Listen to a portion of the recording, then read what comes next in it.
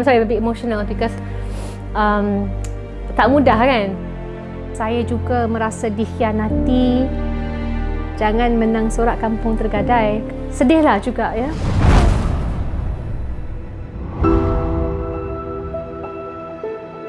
Setiap pertemuan, perpisahan itu hanya berlaku dengan izin Tuhan.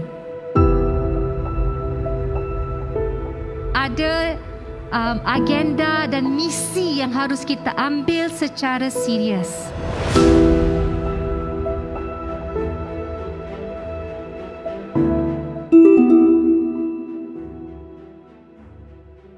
Jadi saya sama je position saya. Uh, jangan menang sorak kampung tergadai. Keutamaan kita untuk menang pilihan raya dan meraih semula kepercayaan rakyat.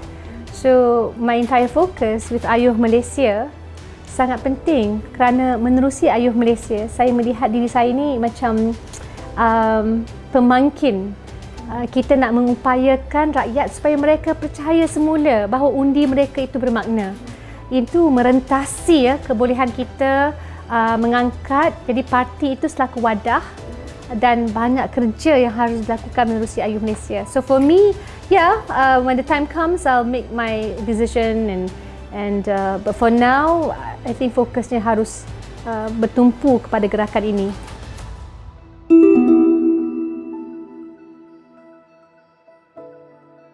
Sebagaimana yang dirasakan rakyat ya, saya juga merasa dikhianati. Kita melihat senario bukan sahaja terhad kepada Malaysia di mana uh, tubuh badan seorang ahli politik itu kadang-kala uh, tiada atau mempunyai defisit kepercayaan. Orang rasa tak ada kredibiliti. Jadi saya ingat lagi kali pertama saya bersetuju untuk bertanding uh, pada tahun 2008 baru bergelar sebagai seorang ibu. Um, kita punya jalan yang lebih jauh ya because it's about accountability. Kita nak tawarkan diri kita sebagai wakil rakyat. Maka perwakilan itu berlandaskan kepercayaan yang mereka beri.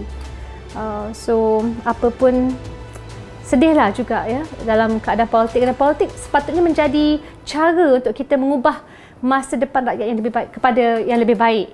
Tapi sekarang ini tercalarlah ya dengan uh, tindakan dan tingkah laku uh, segelintir yang memang mengutamakan kuasa dan dilihat lebih tamak mementingkan diri sendiri. So it's going to be a generational challenge tapi insyaAllah lah sama-sama kita usahakan.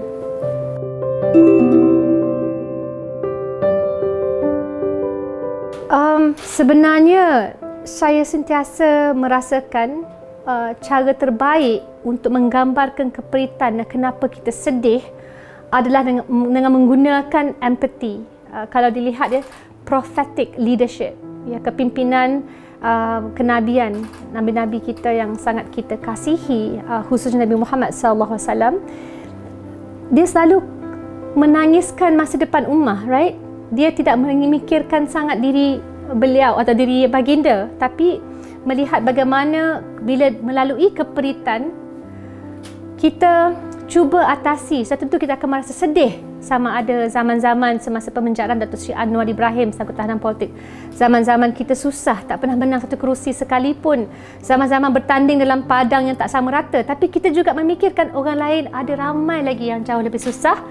Akhirnya membuahkan hasil kenapa saya memperjuangkan reformasi penjara, memperjuangkan uh, pengupayaan dan perlindungan sosial untuk semua pekerja sama ada pekerja sektor informal ataupun formal dan pengupayaan bagi ketua isi rumah wanita. Kerana masa pandemik mereka lah yang mempunyai keperitan dan kemiskinan yang jauh lebih serius berbanding dengan ketua isi rumah biasa.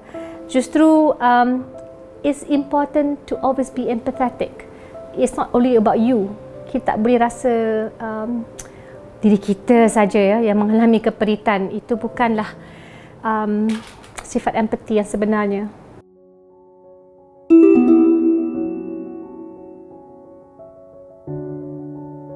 Alhamdulillah saya sangat teruja uh, bila disebut oleh Saudara Rafizi Ramli sendiri ya, we are here untuk memberikan dokongan kepada uh, Presiden sedia ada menambah nilai kerana mahu tidak mahu uh, dalam mana-mana uh, wadah organisasi wajib ada uh, program regenerasi, rejuvenasi yang berlangsung dari masa ke semasa.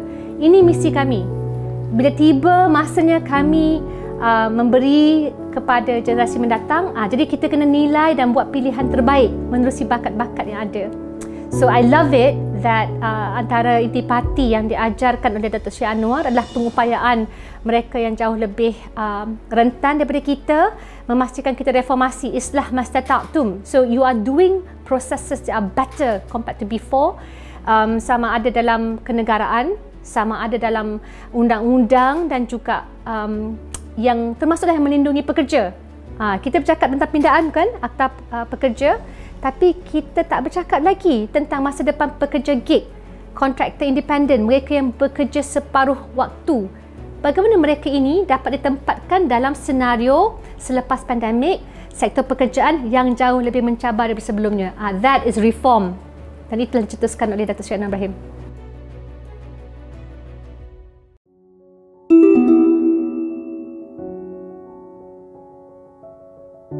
seperti yang saya sebutkan, kita mendukung presiden dalam parti dan kita kena faham ia merupakan collective responsibility, collective leadership. Kalau sesiapa merasakan hanya satu seorang individu saja yang dapat mengubah masa depan Malaysia, maka kita tentu akan gagal. Kerana semuanya merangkumi pasukan yang kuat, kepakaran yang menepati keperluan dan dasar-dasar.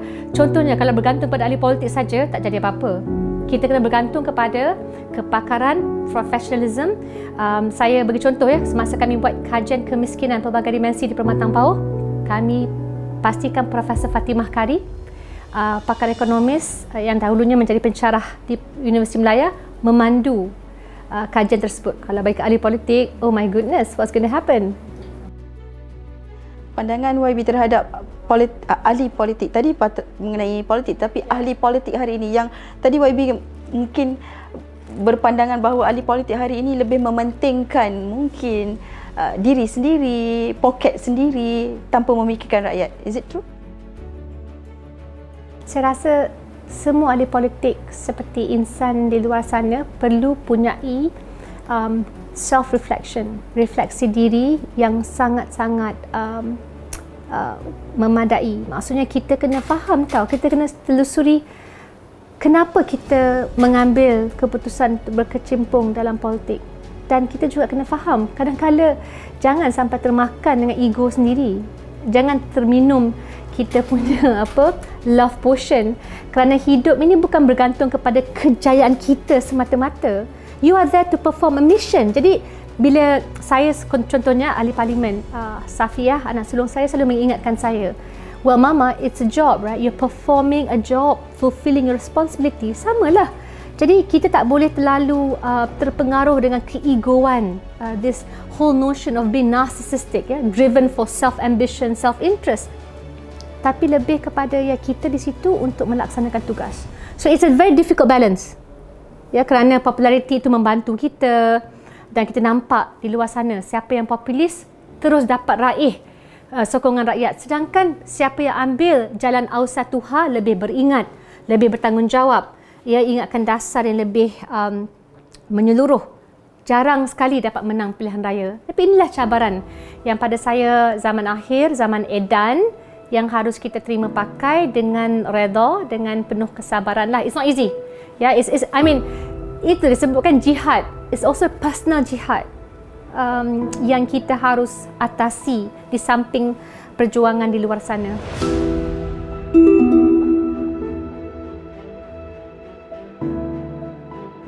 Kalau lihat sejarah dunia, dia bukan muda dari segi umur semata-mata.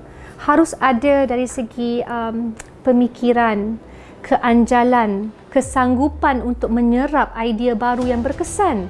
Dan ini tak terhad kepada mereka yang muda. Ada di negara England contohnya ya uh, semasa Lib Dems came together with the Conservatives.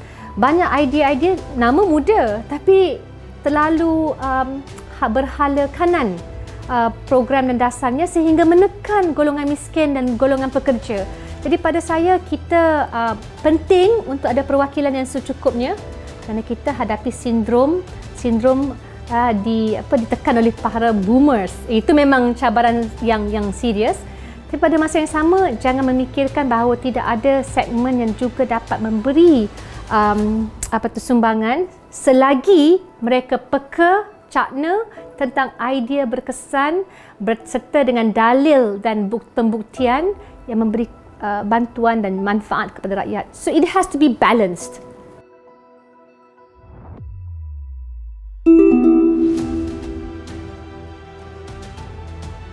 Ya, insya-Allah pada saya beginilah. Um, perlu ada um, usaha untuk kita memikirkan di luar kotak politik. Saya tak boleh tekankan ya betapa saya mampu untuk sampai ke tahap ini tanpa para guru yang committed. Tak mungkin kita dapat selesaikan isu-isu kontroversial dalam PAC, contohnya jawatan kuasa kira-kira wang negara tanpa kaki tangan kerajaan yang berani. Tanpa pihak media yang memang bertalu-talu membuat kajian dan menerbitkan berita-berita untuk memastikan rakyat tahu apa itu kebenaran. Jadi walaupun saya ambil serius ya uh, perlibatan dalam politik, saya fikir kita tak nak kecilkan kepompong ataupun um, parameter kita. Kita cuba tengok apa lagi bidang lain dapat kita berikan sumbangan insya-Allah. Tapi ya yeah, so, so far I love my job mungkin ada target berapa penggal lagi akan oh yo oh my goodness when you put it like that um sebenarnya begini saya fikir saya ni macam a woman in a hurry. So kerana apa? Kerana anak saya sebut dalam satu penggal dia lima tahun. Patutnya bukan 22 bulan lah. Okay Uh, tak bolehlah kita rosakkan kan? Satu penggal lima tahun maka dalam lima tahun itu tahun pertama dah kena perancangan dah nak buat apa? Tahun kedua ketiga empat kelima. Jadi kita memang memikirkan secara strategik bagaimana nak ada program yang kalis cabaran masa depan. So I love that. So kita fikir from five year plans. Jadi bukan soal penggal ke penggal. Kerana kadang-kadang orang ingat okay you menang so what? Right what are the changes will you bring? How will you stir? Dan uh, saya sebut tadi saya tak mahu power kuasa macam currency mata wang. Dia bukan mata wang. Kuasa ini adalah um, aliran elektrik. So, how do you electrify? Dan kita pastikan aliran uh, current itu mampu untuk mengupayakan orang lain. Jadi, saya nak menjadi wadah yang dapat mengupayakan ketua isteri rumah wanita lain, ya golongan pekerja. Um, kita ada bantuan dan program yang dapat memberikan peluang pendidikan yang lebih bermakna. That is what matters. So, bukan isu penggal. What I can do for this year pun, I dah macam, please, Ya Allah, give me more chances to do something good kerana tak mahu anak-anak saya sahaja berjaya semua anak-anak di Malaysia berjaya. Hmm. Kalau kita lihat itu bukan kerja seorang, itu adalah kerja berpasukan. Oh, yes, yes, yes. Apakah YB merasakan YB sudah cukup lengkap dengan pasukan ataupun sebenarnya dengan kehadiran uh, Rafizi sebenarnya menguatkan lagi untuk YB uh, melaksanakan apa yang ter orang kata tersirat itu? Of course dia ada uh, apa left flank right flank right? So Rafizi tentunya dalam konteks parti, ayuh Malaysia pun kita harus perkukuhkan dalam tim saya sendiri. Rafizi sebut ramai graduan ya yang belajar architecture. Akhirnya tak bekerja sebagai seorang arkitek. Alhamdulillah saya dua graduan arkitek yang tersohor bekerja dalam pasukan saya. So kita nak ramaikan lagi. Kalau boleh nak pastikan mereka mendapat gaji yang lumayan.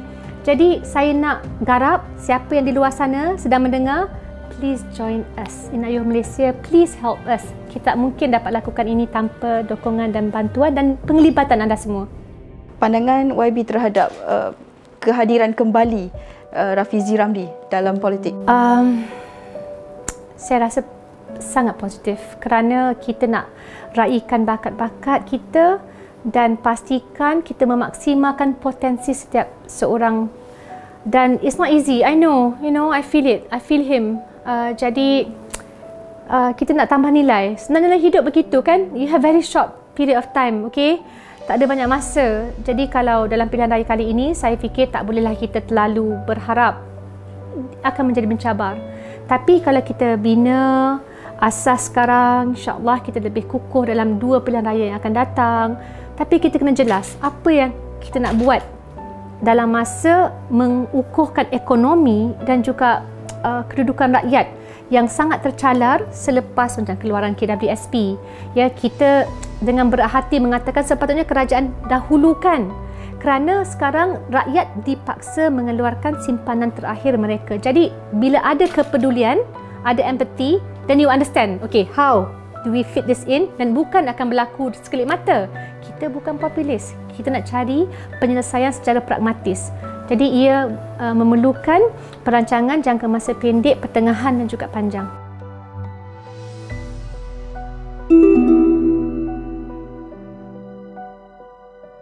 Saya rasa kita ni semua perlu menghormati uh, kiranya uh, parameter dan juga boundaries. Maksudnya saya pasti beliau ada uh, kematangan tersendiri, kebijakan tersendiri. Kita berbincang. Tapi pada masa yang sama kita menghormati pendirian dan keputusan yang diambil.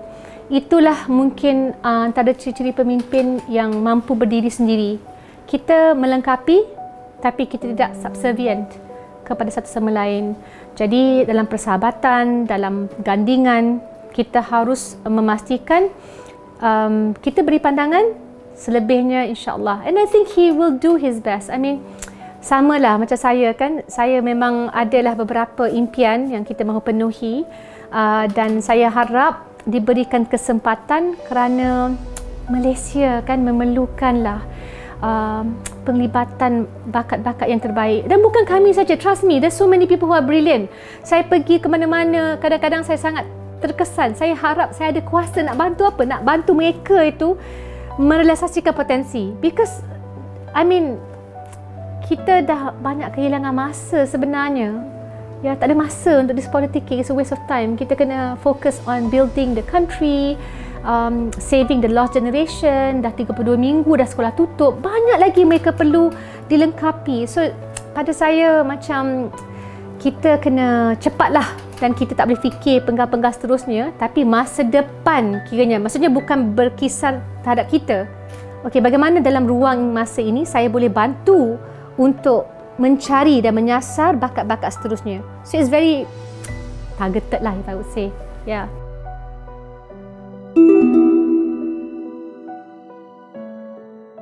Oh, saya sebenarnya suka sangat kalau ada Center for Affordable Diagnostics and Therapeutics. Saya nampak dari segi bidang perubatan, kita tak banyak, tak mencukupilah kajian uh, untuk ubat-ubatan uh, yang sudah uh, habis patennya. Jadi dalam segi makmal sama ada nak membuktikan contohnya kan sekarang bercakap kontroversi medical cannabis. Well first and foremost harus dibuktikan menerusi makmal perubatan bagi menunjukkan bahawa ianya memberi impak dan kesan kepada pesakit secara positif. Jadi semua ini pada saya akhirnya kita tahu kalau ubat-ubatan tak terkawal tengok harga vaksin. So kita kena invest dan labur sekarang supaya kita mampu memberikan ubat-ubatan yang berpatutan Tengok hepatitis C. Malaysia antara negara utama yang telah melabur ke arah ini. Dan walaupun saya bukan doktor, saya seorang jurutera. Um, tapi saya sukalah bab-bab ini kerana saya dah ramai dah, dah ramai ketemu uh, warga-warga B40 yang sakit. Jadi atas dasar kemiskinan mereka, makanan bernutrisi susah nak mereka nak akses. Dah sakit ditimpa tangga. Bila dah sakit nak pergi hospital, bagaimana mereka nak, nak ada kan cukup dana simpanan bagi menampung keperluan perubatan. So berbalik kepada kalau diagnostics dan juga perubatan itu berpatutan kita akan bantu lebih ramai lagi isi rumah yang yang miskin. So that's actually my dream together with a group of doctors nak buat clinical trial cik. Tapi isunya tiba ahli politik kan. Since you asked. oh, ah banyak lagi. I can go on. I know, but mungkin dalam program seterusnya dengan ONG ya. Baik, tadi uh, YB ada menyebut mengenai asas kepada PRU itu perlukan uh, orang kata pengukuhan dalam politik itu sendiri. Ya, ya. Bagaimana kalau kita melihat sekarang ini hampir dengan pemilihan PKR, bagaimana YB melihat pemilihan PKR haruslah mempunyai tapak yang sangat kukuh bagi memastikan PRU kepercayaan rakyat itu dapat dikembalikan. Not easy kerana kita juga berhadapan dengan tanggapan rakyat bukan semua mereka ingat. Contohnya 1998 buku sejarah kita tak terpahat tentang apa berlaku uh, semasa uh, krisis politik krisis keuangan uh, krisis 1997 eh. jadi uh, mungkin yang mereka nampak adalah apa yang terpapar dalam ruang dada akbar um, perdana arus perdana. Jadi pada saya penting untuk kita cuba teliti balik dari segi pencalonan calon-calon kita bagaimana. Apakah inti parti dasar yang kita tawarkan. Contoh, orang mungkin tak nak dengar gaji minima semata-mata. Orang nak dengar bagaimana kita boleh menampung um, impian dan juga keperluan pekerja dan sektor pekerjaan mana yang mungkin kita perlu jana um, untuk memastikan ia juga dilengkapi dalam jaminan security dan kedaulatan makanan. Kerana harga barang, percayalah lepas raya ni akan naik lagi. Okay? It's a systemic, system, systematic problem. Jadi pada saya, bagaimana keadilan dapat menawarkan sesuatu yang berkesan, bukan populis, tapi juga mengambil kira masalah-masalah dasar yang mengakibatkan kita terperangkap dalam um, uh, kos hidup yang akan terus meningkat ya. Jadi isu-isu ini kita kena breakdown dan kita juga kena lebih serius kerana nak tak nak kita pernah jadi kerajaan.